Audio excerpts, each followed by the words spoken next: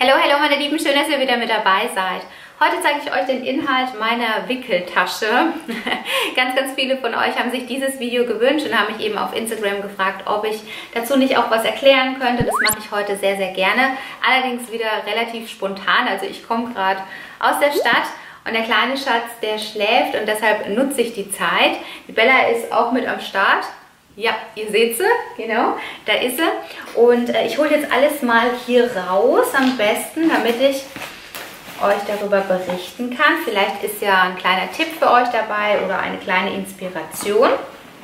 Da würde ich mich natürlich sehr freuen, wenn ich euch da ein bisschen helfen kann. Ich glaube, für die Mamas, die äh, zum ersten Mal ein Baby bekommen, ist es nämlich gar nicht so einfach, äh, ja, sich durch diesen Urwald durchzukämpfen von Erstausstattung, Kliniktasche, Wickeltasche und so weiter. Und ich finde es so ein bisschen schade, dass äh, da zum Teil, muss ich sagen, übertrieben wird. Also das ist nur meine persönliche Meinung. Ich habe fünf Kinder, also Liam ist jetzt mein fünfter. Ja, also ich habe schon einige Windeln gewechselt und einige Wickeltaschen gepackt. Ich kann da auch nur aus Erfahrung sprechen und für mich ist es so eben am besten. Zum Thema Erstausstattung und ähm, Kliniktasche kann ich euch dann am Ende des Videos noch ganz kurz was sagen. Jetzt starten wir erstmal mit meiner Wickeltasche. Ja, ich habe tatsächlich meine Handtasche äh, immer dabei. Der Liam, der ist jetzt drei Monate und meine normale Wickeltasche die auch zum Kinderwagen passt, habe ich jetzt so noch nie verwendet, denn so ist es für mich einfacher. Also ja, ich möchte auch nicht noch zusätzlich eine Handtasche mitnehmen. Meine Sachen passen auch hier rein und er ist ja jetzt noch so klein, dass ich noch nicht äh, den ganzen Hausstand mitnehmen muss. Also übertrieben gesagt, Spielzeug, Knabbereien zu trinken, das fällt ja jetzt erstmal alles weg. Aber ja, wie gesagt, wir kommen jetzt erstmal zu den Dingen, die ich hier immer einpacke. Und zwar zum einen ganz wichtig. Natürlich eine Windel. Also ich nehme tatsächlich immer nur eine mit.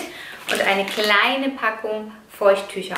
Eigentlich wird er immer mit diesen Wattepads und Wasser sauber gemacht, also hier zu Hause, aber das ist unterwegs natürlich sehr schwierig und deshalb nehme ich das hier mit. Bitte packt nicht so einen riesen Packen Feuchttücher ein. Das ist nur schwer und unnötig Ballast. Es kommt natürlich darauf an, wo ihr hingeht. Also wenn wir jetzt einen längeren Ausflug machen, nehme ich natürlich auch zwei oder drei Windeln mit. Es kommt halt darauf an, wie lange wir unterwegs sind. Aber wir haben hier kurze Wege. Das heißt, ich bin schnell in der Stadt und falls da irgendein kleines Malheur passiert, wäre ich auch schnell wieder zu Hause. Und deshalb reicht mir das so. Das Teil wurde uns übrigens genäht von einer Zuschauerin. Da habe ich mich total gefreut. Hier steht sein Name. Das ist personalisiert.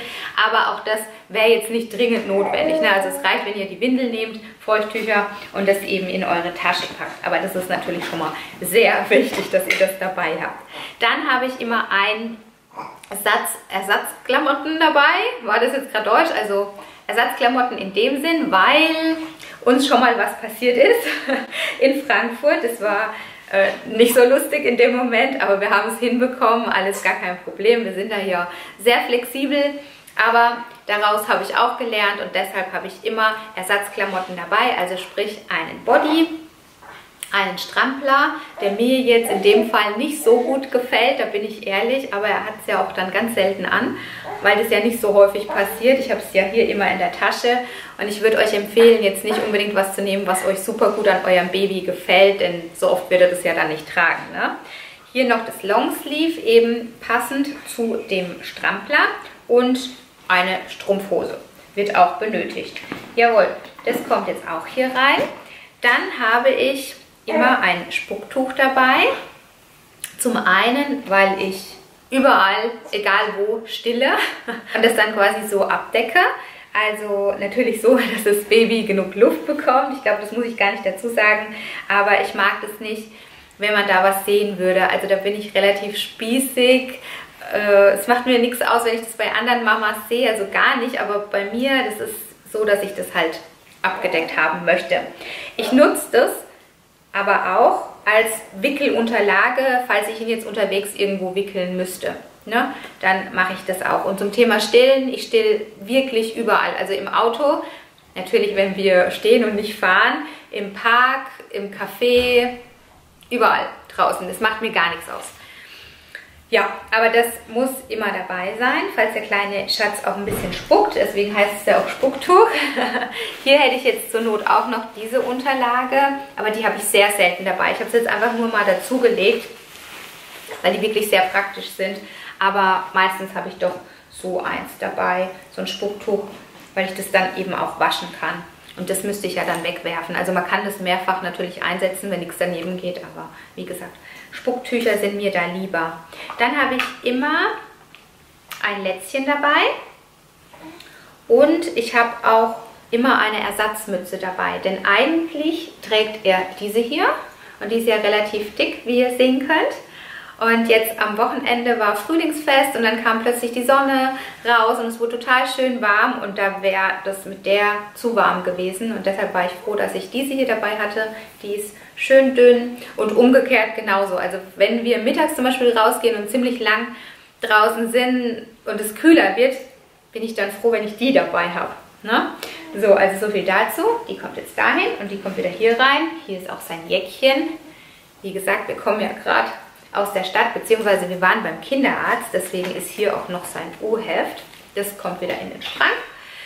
Und dann habe ich noch diese Box hier mit dabei. Da ist ein Ersatzschnuller. Eigentlich mag er Schnuller nicht so gerne, aber für mich ist es einfach ein bisschen ja, ein beruhigenderes Gefühl, wenn ich weiß, okay, es ist einer dabei, falls ich den, den er manchmal hat, zu Hause vergesse dann hätte ich Ersatz dabei und dann eben in dieser Schutz, ähm, in diesem Schutzteil, keine Ahnung, wie sich das jetzt nennt.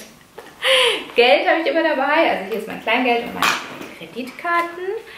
Ansonsten habe ich Kreditkarten, als hätte ich zehn Stück. Nein, also ihr wisst, was ich meine. Ne?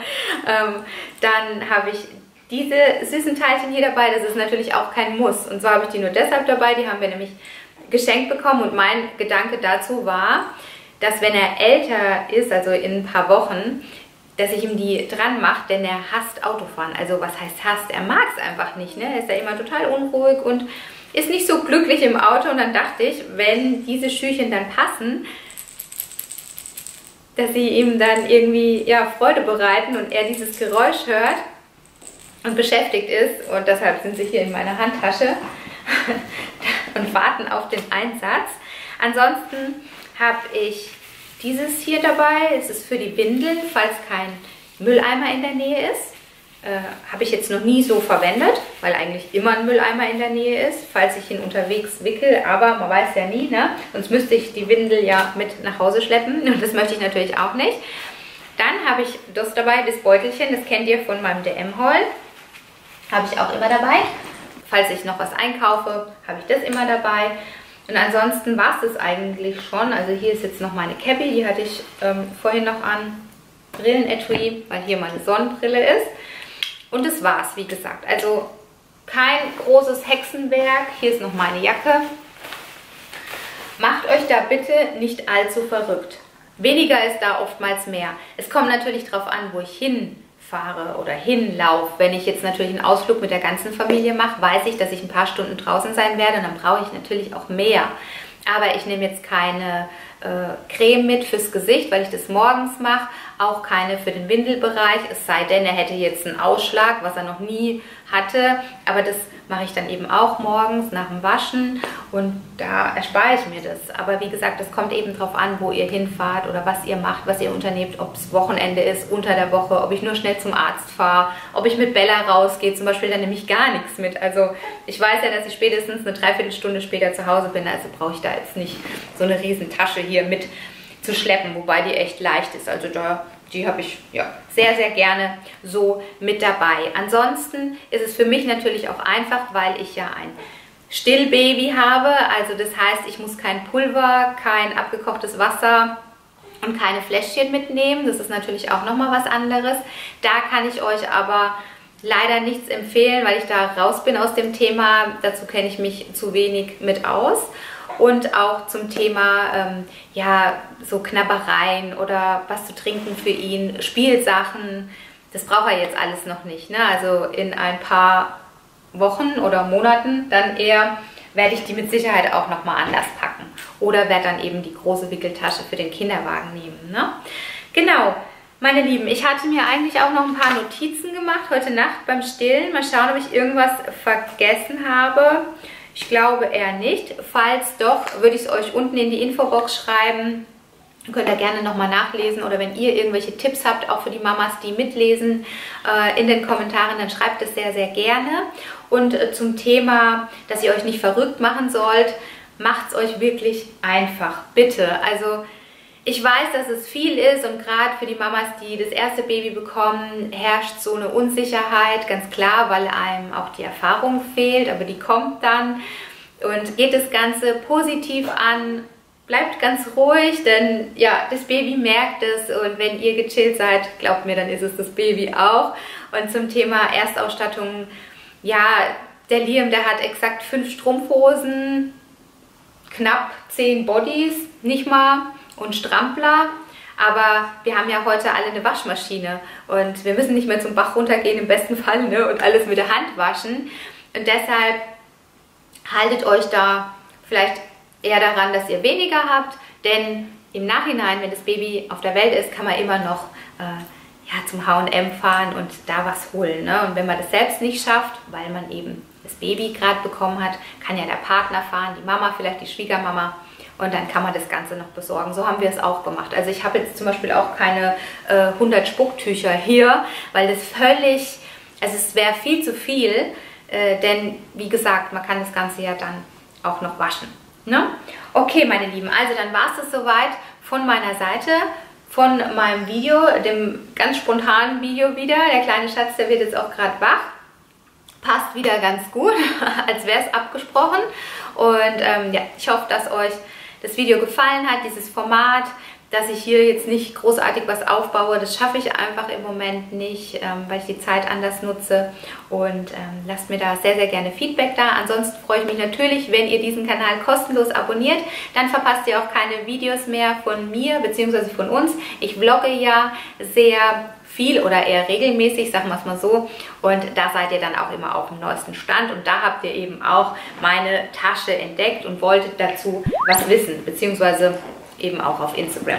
Ja, okay, also gut, dann wünsche ich euch einen wunderschönen Tag mit ganz viel Sonnenschein, mit lieben Menschen um euch und nur das Beste und dann hoffe ich, dass wir uns im nächsten Video wiedersehen. Bis dann, tschüss!